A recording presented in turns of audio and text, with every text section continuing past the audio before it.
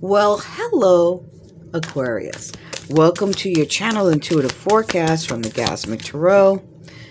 This is a general reading as we expand on the September energies for September 16th through the 30th, so the last half of September 2021, allowing Spirit to give us a couple of foundational cards, and then we will get started. All right. By the way, general reading, take what resonates, leave the rest for everyone else. If it does resonate with you, you want to claim the reading. Come on, Spirit. Throw a comment below. And Spirit is just trying to find the right cards for us, apparently. There we go. All right. Two aces and the love card. Wow. That should be an interesting interpretation. All right. So let us get started with that and then we'll get some clarification from the, um, you know, the smallest deck in the world. Ace of air, ace of water. Wow, wow, wow. All right. Well, interesting. So let me just also ask you guys um, and, and, and tell you how appreciative I am that for your likes, for your subscribes, as you know, to support the channel. Really appreciate that. All right, so let's get started here. So we have the Ace of Air, and the Ace of Air is about fate. It's about destiny. It's about law of attraction. All right, it's about powerful forces of transformation that are at work, synchronicity you know, meaningful coincidences. So you're coming into this period with all this juice, you know, with all this um, energy behind you that's attracting things towards you. All right. And, you know, Spirit is reminding you, and here's some little homework for you. So, Spirit is reminding you that in order to bring all that to you, it's about love of self and oneness. All right. This is in all of life, there's, a, you know, this illusion of being separated or separation from spirit or being or feeling alone. Not so much. All right. This is about that joining of you and spirit in this particular deck, you know, and loving. And the way that you do that is to realize that you are pure love. Your entire soul, let's call it, energy, what chi, whatever you want to call it, is pure love. As a matter of fact, you know, we're having we're a spiritual being having a human experience and our energy pure love, the vibration of that is so high, just a drop of it is able, our body, our physical form is able to handle. Anything more than that, our body can't handle that high of a vibration. So connecting to the the rest of us, that energetic that we energy that we are, and then connecting to all that is in the universe is is really what you're they want, Spirit wants you to understand. There's so much more to you than what is in that, that, that energy that's in that physical body. And connecting to that oneness is going to attract more deliciousness to you. All right. And then you've got this Ace of Water, and this is about unconditional love and how it attracts overflowing abundance and it's about the fertility of love.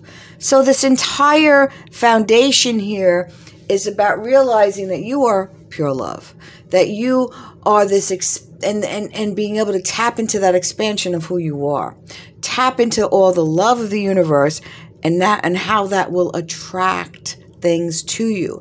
If you'd like to attract things into the physical form, like money, home, friends, family, lover. You have that ability once you realize what this is. So, this is a little lesson for you. Okay, that spirit is trying to show you something. Okay, and this is for every single Aquarius or whoever has Aquarius in their sign. There's no ifs, ands about, uh, buts about it. This is in general. This is for all of you.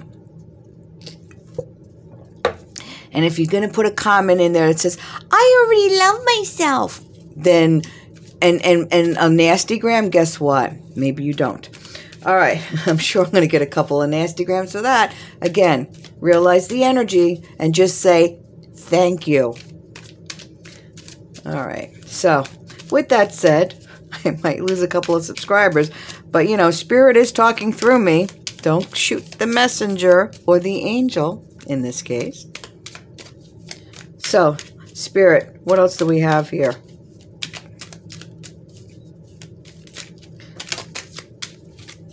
I guess we're going to find out. Because they just dropped a bunch of stuff on my... Okay. All right. Okay. Thanks, Spirit. Oh, look at that. Lovely. All right, so... Yeah. So life's been hard. Life's been real hard. More so than normal or at least it feels that way for a lot of Aquarians. Um, lots of burden, of financial burden, lots of emotional baggage that you're dealing with, uh, feeling overwhelmed. Okay. and, you know, you've taken some rest. Maybe you've been sick. Um, maybe you've just felt really run down and you've been resting, resting, resting.